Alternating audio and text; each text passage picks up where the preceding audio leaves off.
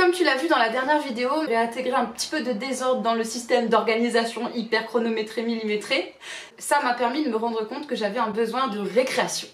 Ce besoin de récréation là, il est profondément lié à mon besoin de me reconnecter à mon artiste intérieur en fait. Parce que ça fait très très longtemps que j'ai pas accordé de temps, d'attention, d'énergie à mon artiste intérieur. Ça peut paraître super paradoxal parce que j'ai un travail artistique, je suis comédienne, je fais des épisodes de podcast, tout ça, tout ça. Mais ce n'est pas un rendez-vous entre lui et moi uniquement. C'est un rendez-vous avec lui, moi et plein d'autres gens. Là, j'ai besoin d'être en tête à tête avec mon artiste intérieur, de l'écouter, de prendre du temps pour lui et juste lui et juste tous les deux en fait. Et ça me manque vraiment énormément. et euh, j'ai hâte de savoir ce qui va émerger de tout ça.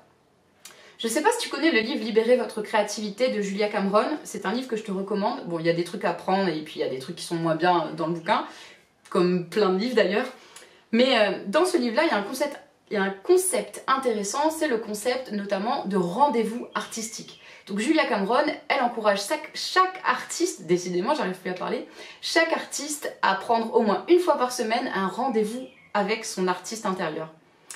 Et euh, ça fait super longtemps en fait que j'ai pas été en rendez-vous avec mon artiste intérieur. Et là, il a juste très très faim. Il est atrophié, il est affamé, il a juste trop envie de manger. Et c'est le moment de lui accorder de nouveau ce temps en tête à tête, cette attention. Et voilà, tout simplement. Ça va me faire beaucoup de bien, ça va lui faire beaucoup de bien, ça va nous faire beaucoup de bien. Oui, je parle comme si c'était une personne à part entière, mais pour le bien de cette vidéo, on va dire qu'effectivement, mon artiste intérieur, c'est une partie à part entière de moi-même, et comme si je pouvais me dédoubler, et que du coup, euh, j'allais passer du temps avec lui en fait. Comment on passe du temps avec son artiste intérieur? Et eh ben, et eh ben, comment on fait ça Bah, je pense que je vais commencer par faire une liste des choses que j'ai envie de faire avec lui. Comme si c'était justement une personne à part entière et que je savais très bien ce qui lui ferait plaisir en fait. Donc euh, voilà, je vais faire une liste. Je t'emmène avec moi donc au cours de ce processus-là. J'espère que tu pourras en retirer quelque chose, que ça te donnera des idées de rendez-vous peut-être avec ton artiste intérieur ou que ça te donnera au moins envie peut-être de reconnecter avec ton artiste intérieur et de prendre ce temps-là pour toi, pour lui, pour vous et pour ta créativité en fait. Voilà, c'est parti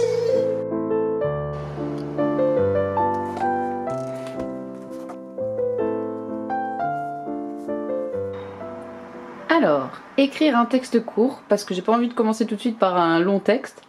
Euh, faire une page d'art journal. Colorier un mandala, parce que ça fait longtemps que je l'ai pas fait.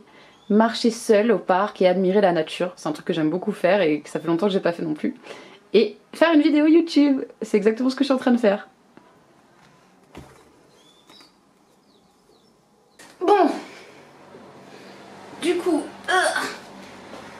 Ça y est, c'est parti pour mon petit rendez-vous avec mon artiste intérieur. Évidemment, pour l'occasion, j'ai mis ma salopette parce que c'est un rendez-vous d'artiste. Euh, j'ai pris mon grand cabas. Cabas, tente. Sais pas comment on dit. Tente À la Réunion, on dit tente, mais cabas, je pense que c'est bien. Oui, désolée de te déranger, Et dedans, il y a I un carnet dans lequel euh, que j'utilise un petit peu comme les sketchbooks des artistes qui dessinent où du coup c'est genre des brouillons, des bouts d'idées, des bouts d'histoire qui sont genre juste mises comme ça, voilà, euh, sans forcément de cohérence, sans forcément de lien logique. Je sais pas si ça va donner un truc un jour, mais disons que c'est un peu mon cahier de brouillon pour histoire quoi. J'ai emprunté l'idée à Florivine de Flory Taylor. Je te mettrai le, lien de sa chaîne en barre d'infos. J'ai quand même emmené mon carnet, euh, mon journal intime où je note toutes mes réflexions. Ça c'est mon carnet de vidéo. Et ma liseuse, parce que si j'ai envie de lire un peu pour m'inspirer, j'ai envie d'être en extérieur, il fait super beau. C'est encore l'hiver à La Réunion, on dirait pas, mais c'est encore l'hiver à La Réunion, il fait, beau.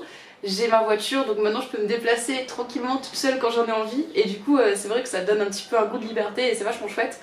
Donc je vais aller écrire dans un carnet au parc, comme ça ça me coupera un peu des distractions. Euh, j'ai pas internet sur mon téléphone. Oh, pardon.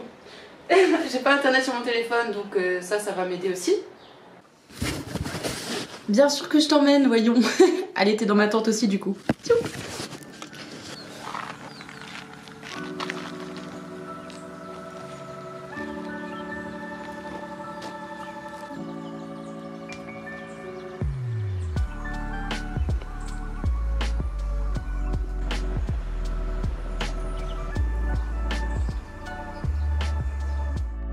Bon, c'est le soir.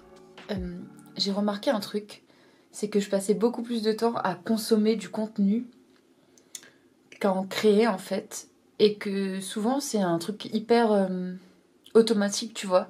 Je vais me mettre sur YouTube, je vais me mettre à scroller sur YouTube, à regarder des vidéos bah, qui vont pas forcément m'apporter quelque chose.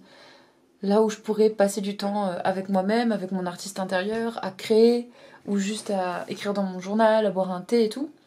Et, euh, et ben c'est cool hein, d'avoir des moments où bah, je mets mon cerveau sur off et où je regarde des trucs sur YouTube, etc. Mais je trouve ça un petit peu dommage de le faire de façon automatique, sans forcément réfléchir à, ça et sans que ça m'apporte vraiment quelque chose et que sans que ça m'enrichisse en fait. Du coup, je vais essayer là à partir de maintenant euh, de, de couper les écrans à partir de 21h on va dire et de voir en fait ce qui en ressort donc de prendre le temps bah, peut-être de lire par exemple plutôt le soir d'écrire dans mon journal même si c'est à double tranchant ce truc là parce qu'il y a des moments où si je commence à écrire dans mon journal en fait mon esprit va trop partir dans tous les sens et le soir c'est pas bon parce que du coup ça me fait des crises d'insomnie et j'arrive pas à dormir si mon esprit est trop stimulé. Euh, lire c'est pas mal par contre. Ou alors faire, euh, enfin je sais pas, écrire un petit peu en dehors du journal, écrire euh, des textes courts, etc. Mais sur papier plutôt que sur ordinateur pour couper vraiment les écrans, pour pas avoir de tentation là-dessus. Et voir ce qui en ressort, tourner des petits bouts de vidéo comme ça, tranquillement en fait, sans pression et être proactive de ma consommation et de mon rapport à YouTube et à Internet en fait. Je dis YouTube parce que c'est la plateforme sur laquelle je suis la plus souvent en tant que consommatrice. Il y a Instagram aussi, mais moins en fait. Je suis moins sur Instagram que sur YouTube. Je regarde plus de trucs sur YouTube que sur Instagram par exemple.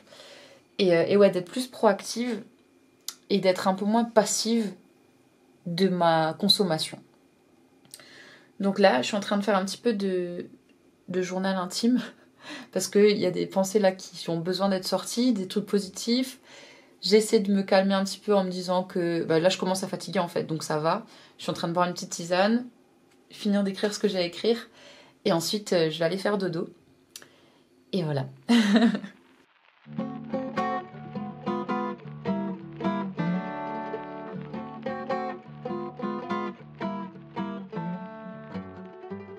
Et donc c'est le moment de choisir un nouveau carnet et de commencer un nouveau journal en fait. Et du coup, bah, je me suis dit, tiens, c'est l'occasion d'essayer autre chose, de penser autrement mon journal, de pas refaire comme je venais de faire, tu vois. Et donc, naturellement, j'ai commencé à sortir mon matériel d'art journal et à coller des petits bouts de trucs là où d'habitude je le fais pas dans mon, dans mon journal intime. Et du coup, j'ai commencé à mélanger à la fois art journal à la fois journal intime et en même temps journal euh, de réalisation, de réflexion, manuel d'utilisation de soi-même, on va dire. Et euh, manifeste. C'était un peu, c'est ça, c'est un peu ça, c'est un peu mon manifeste créatif, quoi. Et comment je vis les choses et comment euh, j'apprends des leçons un petit peu tous les jours autour de ma créativité, autour de comment je fonctionne. Et c'est intéressant et important, je crois, pour moi, de le noter au même endroit comme ça, je peux y revenir et me rappeler de ces choses super importantes qui sans quoi se retrouvent noyées dans la masse de réflexions